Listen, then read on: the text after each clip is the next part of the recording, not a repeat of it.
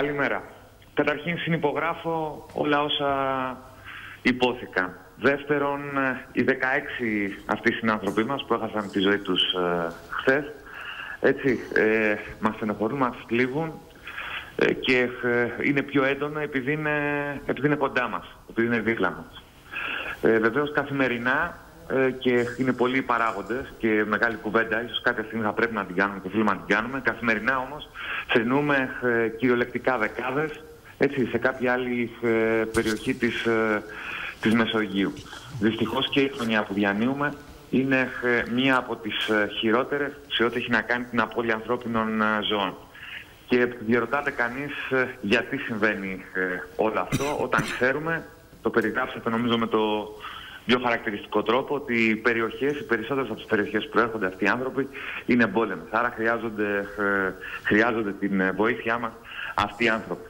Τώρα, γιατί φτάνουμε εκεί, ε, επαναλαμβάνω, είναι θέμα άλλης ε, κουβέντας. Να πω μόνο ότι ε, οι ελπίδες λιγοστεύουν. Σήμερα ξεκίνησαν πάλι ε, οι έρευνες, βεβαίως.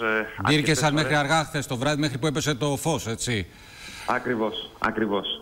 Ε, δεν έχουμε ε, παρά μόνο ε, δύο δυστυχώς ε, γυναίκες να έχουν επιζήσει από αυτή την τραγωδία μέχρι τουλάχιστον στιγμής.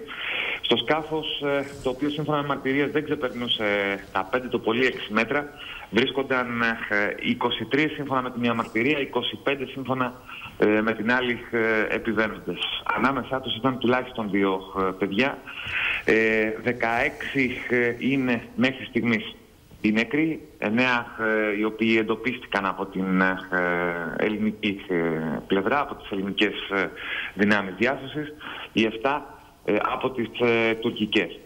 Να πούμε ότι το ευχάριστο είναι ότι η έγκυος γυναίκα, χθες, η οποία επέζησε, βγήκε από την εντατική, είναι καλά στην υγεία της, τουλάχιστον δεν κινδυνεύει.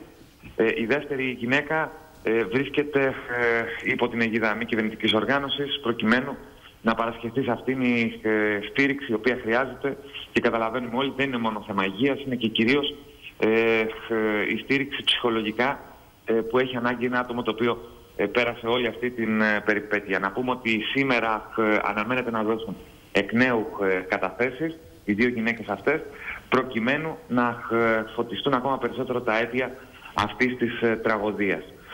Μέχρι στιγμής η εικόνα που έχει σχηματιστική από τις αρχές είναι ότι ε, πρόκειται ε, για ε, το βάρος το οποίο ήταν υπερβολικό για το συγκεκριμένο πλεούμενο.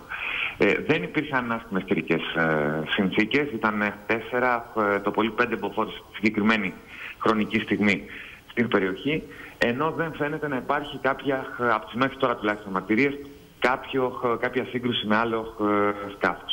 Μάλλον στη μετατόπιση του φορτίου ή στο υπερβολικό φορτίο το σκάφος αυτό δεν άντεξε και ε, έγινε το, ε, το μοιραίο.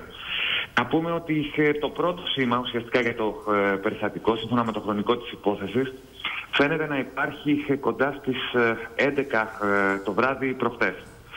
Ε, ξεκίνησε άμεσα επιχείρηση έρευνας, μάλιστα ειδοποιήθηκαν και κάποιοι ψαράδες οι οποίοι βρίσκονταν στην περιοχή, όμως δεν υπήρξε κάποιο αποτέλεσμα ε, μέχρι περίπου τις 11 το, το πρωί της επόμενης ημέρας όταν σκάφος πολεμικού ναυτικού εντόπισε ε, τους πρώτους ε, δυστυχώς ε, νεκρούς ε, συνανθρώπους μας.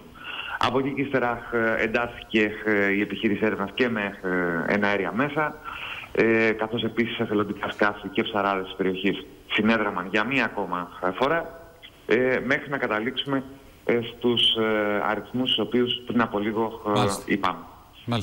Ηλία, να σε ευχαριστήσουμε πάρα πολύ.